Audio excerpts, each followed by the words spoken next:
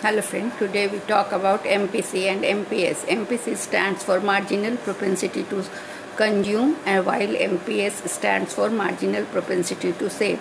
These two terms help us to understand how people use their income. MPC is all about how much of an increase in income people spend on goods and services.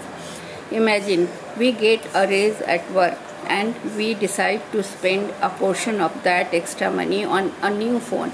That spending is our MPC.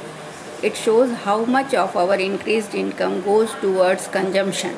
On the other hand, MPS is about how much people save from their income. If we receive that same raise but decide to put a chunk of it into our savings account or invest it, that is our MPS at work. It represents the portion of our increased income that we choose to save instead of spending. MPS are and MPC are like, like two sides of a coin. They always add up to 1. If our MPC is 0.8, which means we spend 80% of our increased income, then our MPS will be 0.2, reflecting that we save 20% of our increased income.